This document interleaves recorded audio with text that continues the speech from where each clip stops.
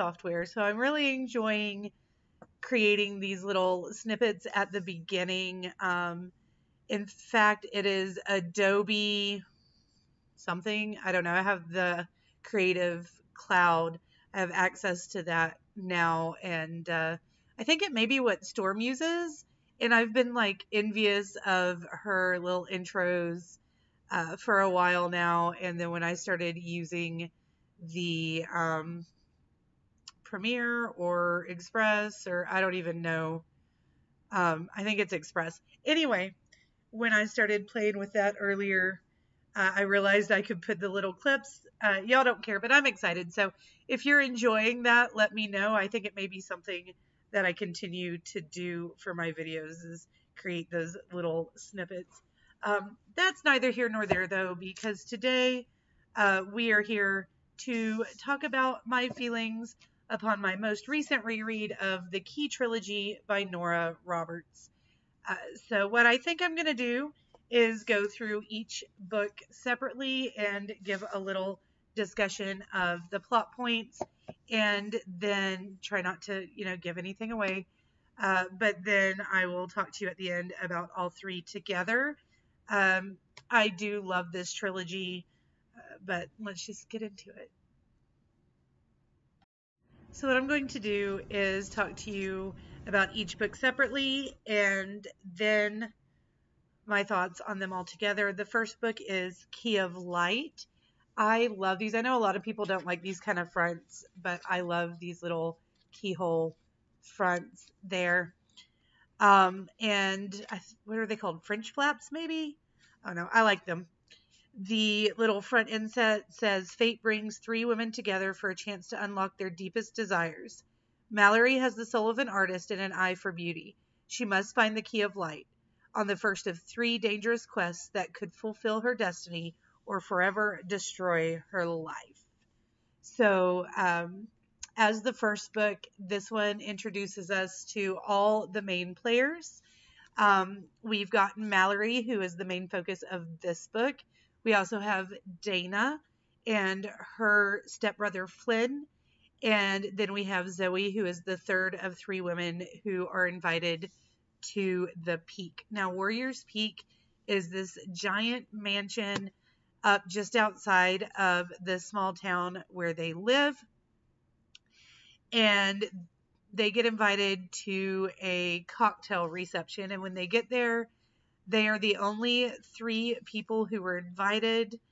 And um, the owners of the peak, who are Pitte and Rowena, tell them that they have been chosen to compete in this quest.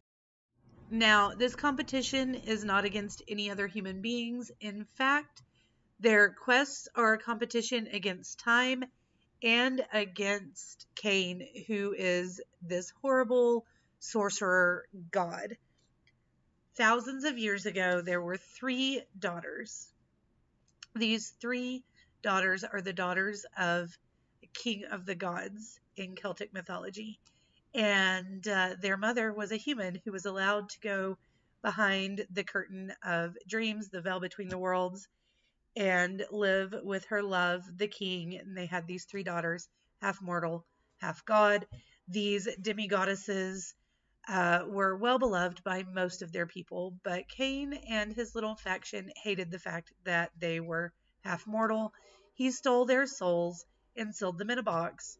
And every generation, three new women are called. They have to compete and try to find the keys to unlock the box of souls. They have four weeks, one spin of the moon cycle in which to do it.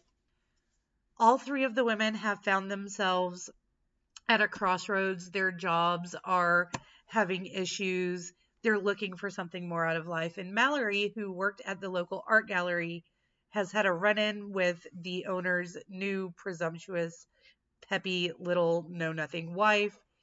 And she ends up being let go in order to try to spread her wings and fly. Um, but because they have been given some money for taking on the quest, she's able to kind of try to focus on the quest and figure out what she's doing with her life. And in process, she meets Flynn, Dana's brother, and there is some chemistry there. Um, and the story goes from there. Now, Kane does attack them in dreams.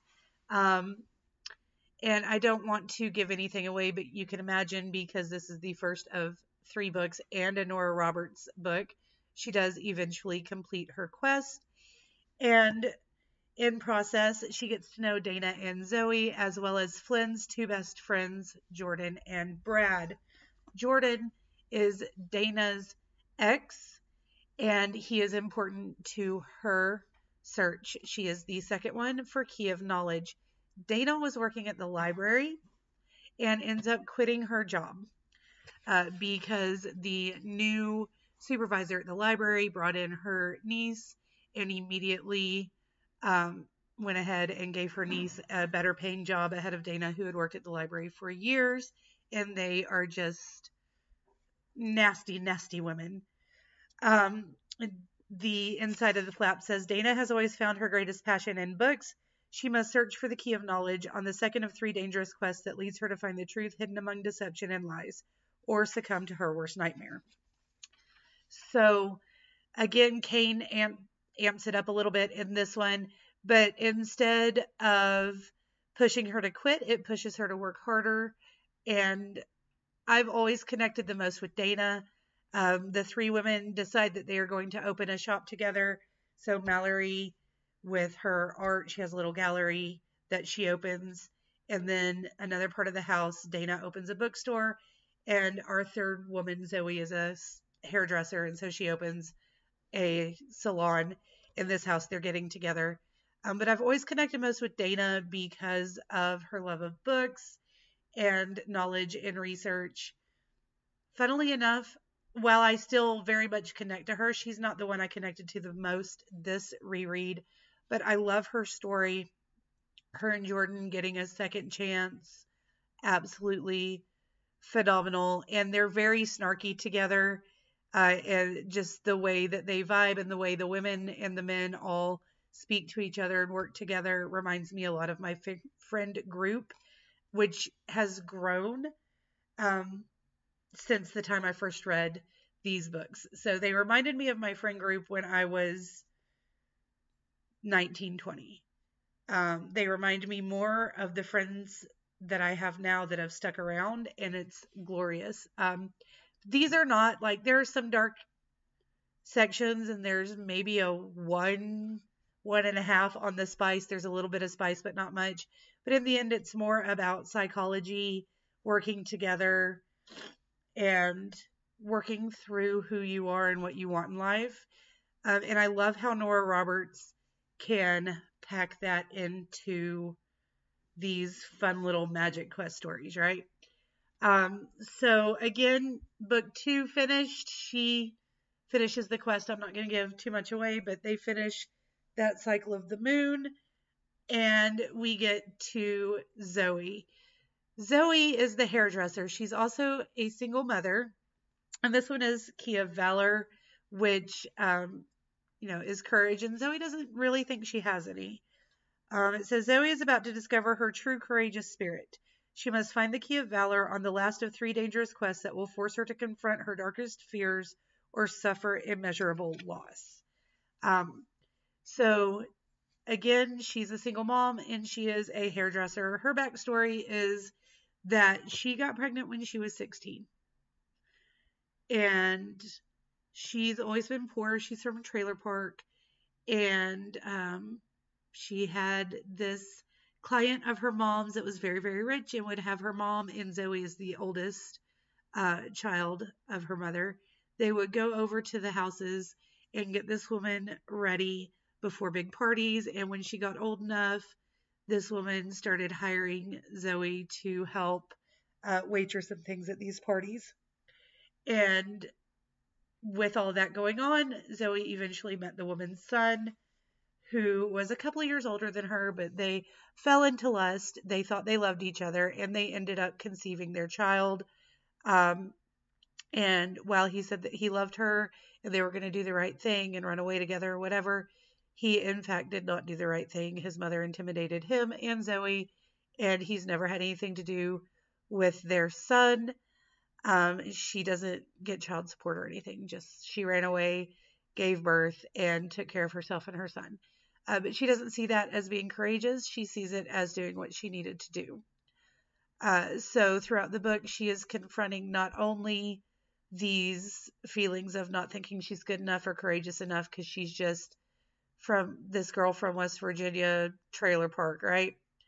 Who does hair, but also learning that she is very courageous, that she does have her child, that she's fierce and she's smart and she's amazing, and just accepting in the friends that she has, and also Flynn and Jordan's other best friend, Brad. Bradley Vane the third. Um, this gentleman is part of a very wealthy family who started homemakers, which is like a Lowe's basically. And so she immediately doesn't trust him or herself around him because she likes him, but he reminds her a lot of Simon's father. And that is a big plot point in the story as well. Um, and this time around, I connected with Zoe more than the other two, uh, probably because I've got my kids, you know, my girls. Um, I definitely connected with her spirit as I was reading it. I cried a couple of times during her story. I think I may have cried during Dana's as well. Um, but as much as I love Malory and Dana, I think Zoe was my favorite this time around. Um, and again, I'm not going to tell you any other plot points, but they're very sweet. They're very fun. There are some dark moments, but it is about understanding who you are, accepting who you are, following your dreams, and figuring out how to be you and connect with the people around you. And when you accept that and you accept fully who you are and embrace it, you can find magic. Um, I love Nora Roberts. I especially love her books like this Light Overcoming the Darkness and uh, Found Family and all of those things. So individually, they each get about a four, four and a half star. Uh, as a trilogy, I would rate the trilogy, the overarching story, as a four and a half star. It's not quite a five star, uh, but it is one of my favorite trilogies, and I think this is my fourth or fifth time rereading them. So I don't think I can give it much higher praise than that. As much as I enjoy books, I don't typically reread them, especially not now when I've got so much other stuff going on. Um, I like finding new worlds to dive into, but sometimes you got to find your rereads, your comfort reads, and this series is one of those for me. So if you haven't read them, I suggest that you pick them up. And uh, that's all I've got for you guys today. So I will talk to you again soon. Until next time, stay safe out there.